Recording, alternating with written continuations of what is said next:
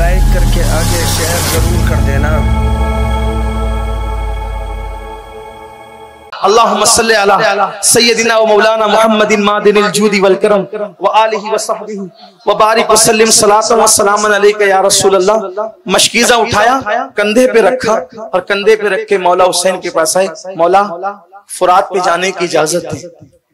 इमाम अली मकाम ने ऊपर से नीचे तक देखा कहा सुबह से अब तक तो सबके लाशें उठा उठा करके लाता हूँ खैमे में रखता हूँ और जिसको देखो जो जाता है वापस नहीं आता।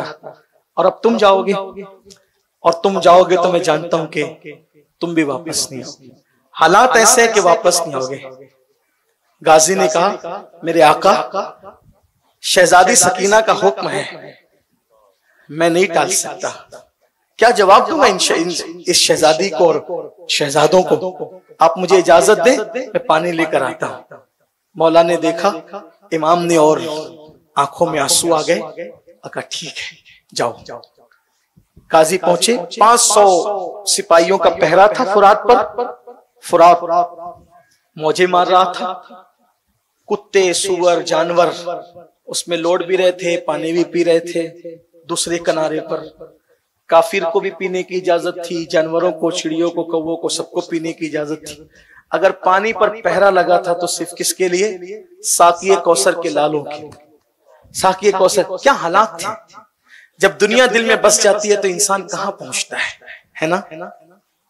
गाजी 500 फौज का पैरा है। एक अकेला गाजी जुल्फिकार हैदरी हाथ में लेकर चलाता है। और खैबर की याद ताज़ा हो जाती है। वो पीछे हटते फुरात में घोड़े के कदम डालते नीचे उतरते पानी भरते पानी भर के कंधे पे डालते हाथ में लेते हैं हाथ में लेकर के। सोचा मैं भी पी लू पीने की कोशिश करते हैं तो ख्याल आता है नबी के नवाज़ से प्यासे हैं और अब्बास कैसे पी ले छोड़ दिया नहीं पिया। घोड़े पे बैठे चले शिमर ने कहा प्यासे लड़ रहे थे अब तक। इनको जेर नहीं किया गया। अगर, एक कतरा भी पानी अहले बैत के खेमे में पहुँच गया। तुम्हारी औरतें बेवा होगी तुम्हारे बच्चे यतीम होंगे। वापस जाने का तस्वुर छोड़ देना।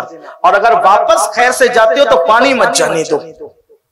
बस इतनी आवाज़ निकली जालिम की और टूट पड़े गाजी अब्बास पर। जब चारों तरफ़ से टूट पड़े तो, तो उन्होंने तलवार चलाई। कुछ लोगों को लगता है कि ये ड्रामा है फलसफा है और क्या कोई आँखों से देख रहा था? याद रखें करबला शरीफ को इमाम जैनुल आबिदीन ने बार बार बयान किया। सैयदा जैनब ने बार बार बयान किया। उम्म कुलसूम शहजादी ने बार बार बयान किया।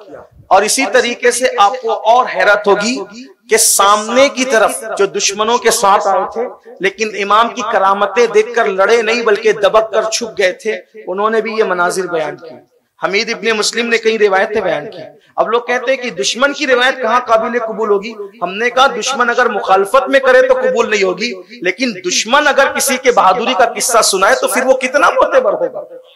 ये बात होती है ना बात तो ये तो होती है क्योंकि बहरहाल सबके नसीब है कोई किसी की तारीफ़ करता है कोई किसी की तारीफ़ करता है छोड़िए। उनको उनके हाल पे छोड़िए। अल्लाह का शुक्र है कि अल्लाह ताला ने हमें जो है वो आहलुल बैत की असहाब रसूल की अम्बिया की अलिया की तारीफ़ करने की तोफीक अता फरमाए।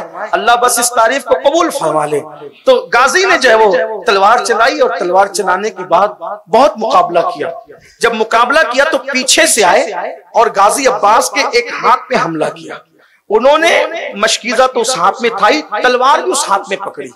और फिर तलवार पकड़ करके मशकीजा और तलवार साथ लेकर जंग की। दूसरे हाथ पे वार किया, दूसरा हाथ कटा, मशकीजा मुँह में दबाया दांतों में। जब मशकीजा दांतों में दबाया तो उन लोगों ने कहा कि मशकीजे पे तीर चलाओ। और जब मशकीजे पे तीर चलाया तो तीर मशकीजे को चीरते हुए हज़रत गाजी के मौला अब्बास के सीने में पेवस्त होना शुरू हुए। और पेवस्त होना शुरू हुए तो एक तीर सर की तरफ़ चला और गाजी पर गशी की कैफियत तारी हुई। बस जब गशी कैफियत तारी हुई तो फूट फूट के रोने लगे। इस पर के पानी ले जाने में कामयाब न हो सका। फुरात से थोड़ी सी दूर पर ये जंग हुई और गाजी वहीं पर घोड़े से ज़मीन पर आए। आवाज़ लगाई, मौला मेरी मदद कीजिए। इमाम अली मकाम ये मंजर खेमे के दरवाजे से देख रहे थे जब देखा कि गाजी ज़मीन पर आए हैं तो घोड़ा दौड़ाते हुए वहाँ तक पहुँचे और जब वहाँ पहुँचे तो दुश्मनों को हटाया हटाने के बाद गाजी को अपनी गोद में लिया और गोद में लेने के बाद तीर निकाला सर से और चेहरे पर हाथ फेरा। चेहरे पे हाथ फिरा। तो ठंडक हाथों की पाकर आपने आँख खोली तो अपने आप को इमाम अली मकाम की गोद में पाया। और जब इमाम अली मकाम की गोद में पाया तो गाजी ने आँख खोली और खोल के मुस्कुराए और मुस्कुरा के कहा कि मैं फातिमा तो जहरा की दुआओं से पैदा हुआ था और सैयदा ने मेरे लिए इसलिए दुआ की थी मेरी पैदाइश की ताकि मैं करबला में आपके काम आऊँ। उसका वाक्य यह है कि जब सैयदा फातिमतुल दुनिया से तशरीफ़ ले जाने लगी थी तो मौला अली को आखिरी मुलाकात में कहा था अली मेरे बाद तुम किसी न किसी बीवी से निकाह तो करोगे। इस रिवायत को सरकार नजमी ने अपनी किताब में लिखा जिसका मफहूम मैं पेश करता हूँ कि अली मेरे बाद किसी न किसी औरत से तुम निकाह तो करोगे। मेरी मौजूदगी में तुमने निकाह नहीं किया। लेकिन मेरे बाद तो करोगे। मौला अली को ख्याल आया कि अगर मैं हाँ कर दूँ तो ये जाते जाते दिल को तकलीफ़ न ले जाए। तो चुप रहे, काली कहो ना, मेरे बाद निकाह तो करोगे, लेकिन मेरी वसीयत है। जब मेरे बाद निकाह करना तो किसी बहादुर औरत से करना निकाह। बहादुर घराने की बहादुर औरत से निकाह करना। मौला अली ने कहा, सैयदा, अब तक तो खूबसूरती और नसब और ये सारी चीज़ें देखकर निकाह होते, ये अजीब सी शर्त नहीं है कि बहादुर औरत और बहादुर घराने की औरत से निकाह करना। इसका क्या मतलब है? तो तब सैयदा ने कहा, मौला अली से मेरे सरताज, जब मेरा हुसैन करबला में होगा, मैं भी ना रहूँगी, आप भी ना रहेंगे, हसन भी ना रहेंगे, बहादुर औरत और बहादुर घराने की औरत से निकाह करोगे तो अल्लाह उसको बेटे देगा। और उसके बेटे भी बहादुर होंगे। और बहादुर बेटे करबला में मेरे हुसैन की मदद मदद इसलिए बहादुर से निकाल तो मौला अब्बास ने कहा इमाम अली मकाम से मौला आपकी अम्मी की दुआ से मैं सैयदा की दुआ का नतीजा हूँ मैं। और उन्होंने इसीलिए हमारे लिए दुआ की थी कि हम आपके काम आए आप हमसे खुश हैं। राज़ी है मौला। इमाम ने कहा रो कर कहा हम राज़ी हैं। मेरी कुछ वसीयतें मौला उसको सुन ले। क्या वसीयत है? आप जो भी शहीद होता है उसका लाशा आप लेकर जाते खेमे में रखते हैं। लेकिन मेरी वसीयत यह है कि मेरा लाशा आप यहीं छोड़कर जाएँगे। खेमे मत ले जाना मेरा लाशा। दुश्मन के नरगे में अब्बास में तुम्हें छोड़ के चला जाऊँ तुम्हारे लाशे को? हाँ हाँ। ये जो चाहे कर ले लेकिन मेरा लाशा खेमे में इसलिए मत लेकर जाना। कि जब तक मेरा लाशा नहीं ले जाओगे, सकीना शहजादी को इंतज़ार रहेगा कि मेरा चच्चा अब आएगा अब आएगा अब आएगा। और इंतज़ार रहेगा तो उसको सब्र भी होता रहेगा। इसलिए मेरा लाशा मत ले जाना। दूसरी चीज़, शहजादी को पता मत चलने देना कि अब्बास शहीद हो गए। क्योंकि अगर अब्बास की शहादत की खबर मिलेगी तो शहजादी की हिम्मत टूट जाएगी। बस इतनी। मौला मेरी गुजारिश है। इमाम से ये कहकर उन्होंने जी भर करके चेहरा देखने की कोशिश की। तो इमाम ने भी उनका हाथ पकड़ा और कहा तेरी तो हर मुराद पूरी करूँगा मेरे गाजी। लेकिन तू भी तो मेरी एक मुराद पूरी कर दे। तू भी तो मेरी एक मुराद पूरी कर दे। मौला आपकी क्या मुराद है? और मैं कैसे मुराद पूरी कर सकता हूँ? तूने ज़िंदगी में कभी हुसैन को भाई नहीं कहा। एक मर्तबा भाई कह दे दुनिया से जाते जाते, बस मेरी मुराद पूरी हो जाएगी। मौरिख लिखता है, कहाँ तक मौरिख ने इंसाफ किया मुझे नहीं पता। मैं बतौर नाकिल नकल कर रहा हूँ। मौरिख लिखता है कि गाजी ने चेहरा देखा और हल्की सी रुंधियाई हुई जबान में, हल्के से रुंधियाई हुई जबान भैया कहा और उनका सर लुढ़क गया। यानी कि आखिरी जबान पर जो नाम था, वो मौला हुसैन का नाम था। भैया कहकर, आप जामे शहादत शहादत नोश फरमा चुके। लाशे को ज़मीन पे रखा। इमाम हुसैन ने कमर हाथ पे हाथ को कमर पे रखा और कहा काजी तेरे जाने से मेरी कमर टूट गई। बेटे की शहादत पर भी ये बात नहीं थी बेटे की शहादत। और और सौतेले भाई की शहादत में के तेरे जाने से मेरी कमर टूट गई। अब्बास तेरे बाद जीना भी क्या जीना है?